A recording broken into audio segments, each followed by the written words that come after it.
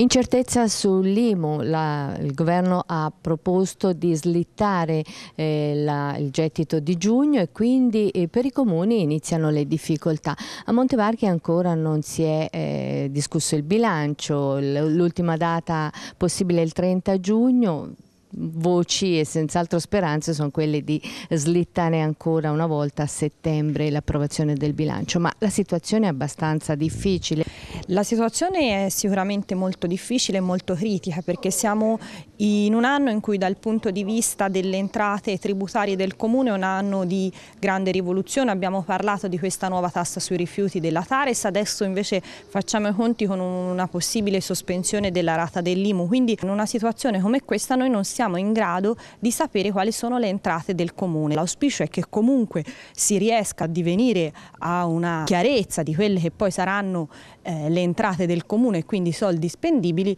in modo da poter almeno arrivare a approvare un bilancio entro il 30 di giugno perché questo consentirebbe appunto di fare scelte politiche eh, importanti e ci consentirebbe anche di, di continuare ad andare avanti in tutti quei servizi che mettiamo in essere per i nostri cittadini. Dal mantenimento delle strade strade, al verde pubblico, alle convenzioni, salterebbe un po' tutto.